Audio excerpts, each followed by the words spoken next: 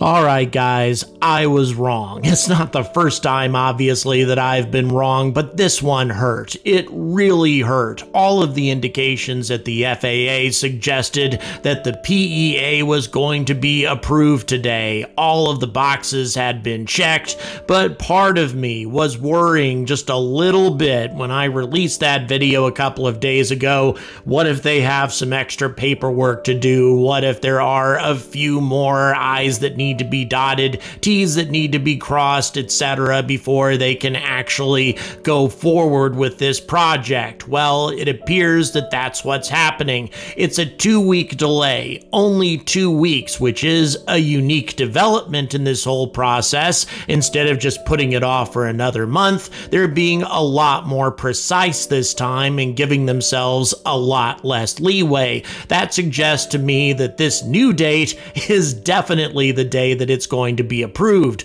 But unfortunately, there's been another development since then. Now, this is something that's been in process for a while, but it only just hit the media, and that is a lawsuit that's been filed by the Sierra Club and, strangely enough, a local Native American tribe, not against SpaceX, but rather against the organizations that manage its access to the beach. That is to say, the local Texas authorities that gave SpaceX the option to close the beach for testing in the first place, and they're saying that this is a violation of the Texas Constitution.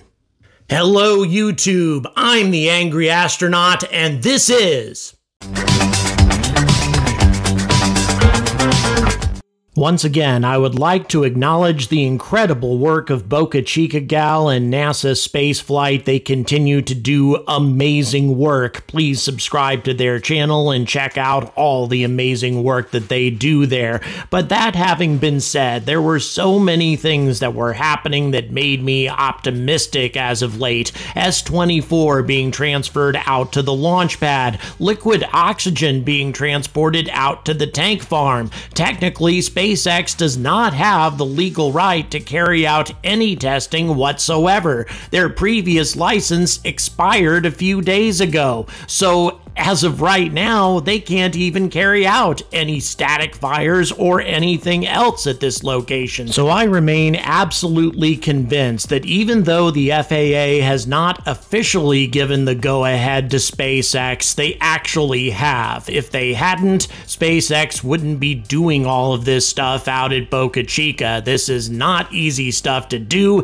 It requires a great deal of logistical coordination, and it would be utterly pointless if their future at Boca Chica was in jeopardy. I am convinced that they are going to be approved here in the next two weeks, as the FAA has announced. So, that being the case, though, are there any other developments that could throw a wrench into the works? Well, as a matter of fact, yes, there are. On June 1st, tomorrow that is, a judge is going to hear a lawsuit concerning access restrictions to a South Texas beach, that is to say, the beach right at the Boca Chica test pad amid SpaceX activities for the Starship program, according to Space.com. So, the Sierra Club, which is, of course, one of the most powerful environmental lobbies in the world, together with a tribe of Native Americans, the Carrizo Comecrudo, I believe, and I'm sorry if I'm mispronouncing that,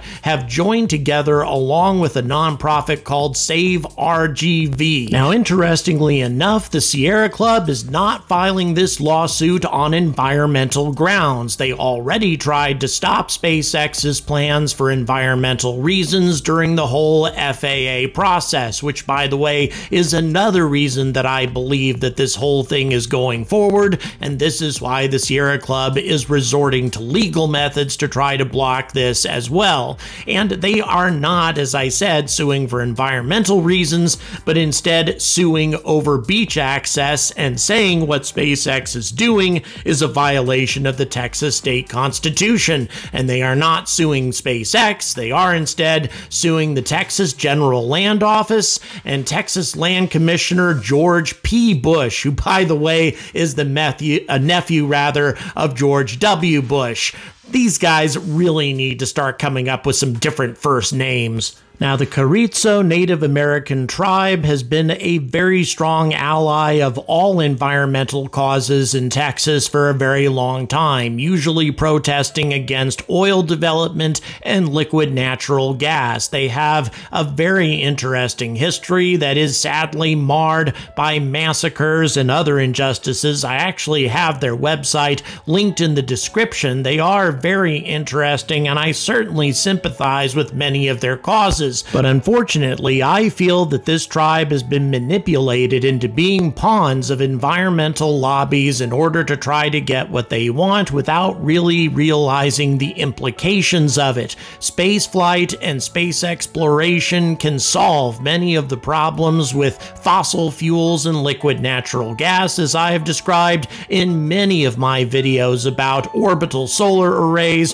which could eliminate our entire reliance on various types of fuel that damage the environment. It would be done in the long term, of course, but it can't be done without ships like Starship. It is absolutely vital that Starship testing continue if we want to have these kinds of alternate energy sources available to our civilization.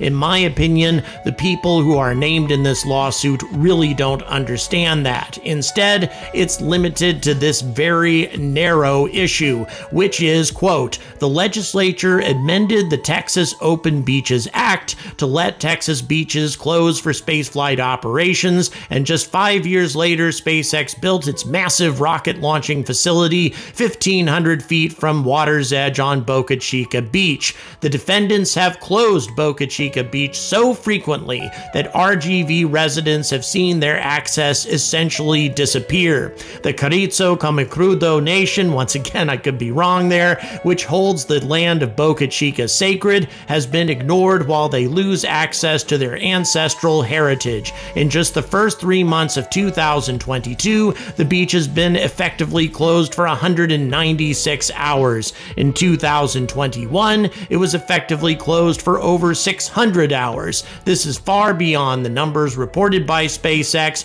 or even allowed under the framework the defendants are using as an unconstitutional loophole. The constant closures of Highway 4 in Boca Chica Beach are unconstitutional and have the effect of robbing local residents of a sacred place when they need it to commune, to reflect, to breathe, and to have a good time, said Mary Helen Flores, a local Brownsville resident. Boca Chica Beach was like no other. It was a wild place where we, generations of families, spent our quality time. We grew roots in the dunes and waters of Boca Chica. Family traditions had been maintained for decades until SpaceX. Now, beach access is a gamble due to the SpaceX calendar taking top priority with governing bodies. SpaceX structures and activities impact access to our beach and the quality of our beach experience. The noise and light pollution are an obscene, unending presence in what is still a wildlife corridor. We need a remedy for our beach, for our wildlife, and for ourselves.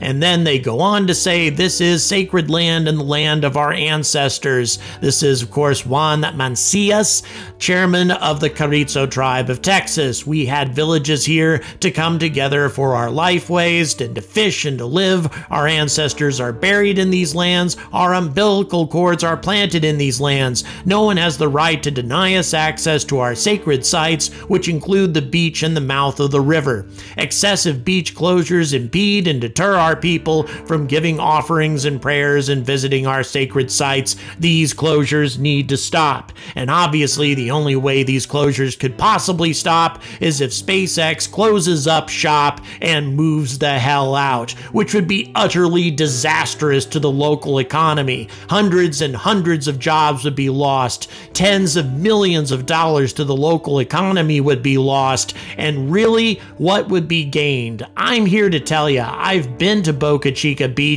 on a number of occasions when locals come to play there, and yes, there may be quite a number of people who respect the sacred nature of the beach, but there's just as many who trash the entire area with beer cans and bottles of Jack Daniels. It is just as obscene to see what locals do to this area, and it's not just locals, of course, it's also tourists. This beach is open to all kinds of tourists who come over them from South South Padre Island, and they are just as destructive. How the hell are you supposed to stop all of that? Getting rid of SpaceX will have no impact whatsoever. Now, is this lawsuit responsible for causing this two week delay? Well, no. In my opinion, it's having no impact whatsoever. What's really causing the delay and what has caused the delay for all of this time is the fact that the FAA has had to thumb through an unbelievable number of public comments.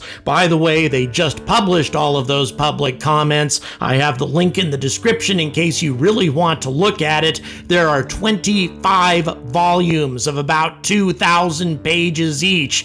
So you're looking at about 50,000 pages worth of comments in case you have nothing to read for the next 20 years. That having been said, though, I do believe that this lawsuit may prove to be a thorn in SpaceX's side for a very, very long time to come. With every mishap during testing, and especially if there's an explosion on the pad, that's going to cause a great great deal of damage to the surrounding area and quite possibly shower all of Boca Chica Beach with stainless steel shrapnel. Something like that might put a halt to all of SpaceX's act activities rather at this location, something that they're going to have to consider if they really want Starbase to become a permanent permanent rather launching facility for Starship, something that may make this location impractical as time time goes on, unless Texas makes another change to their constitution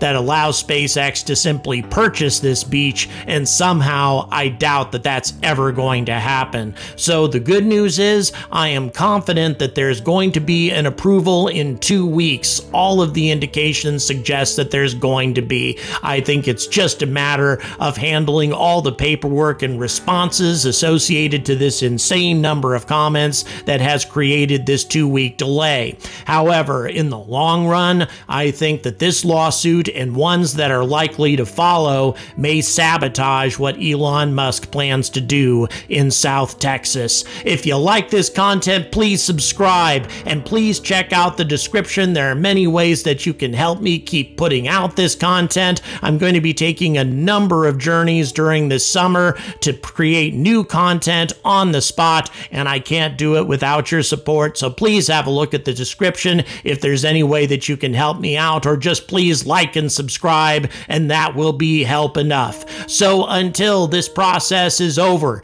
and until environmental lobbies finally realize that spaceflight and space exploration can solve all of the environmental issues that threaten the future of our planet, until they get this through their heads, I urge all of you to stay angry about space.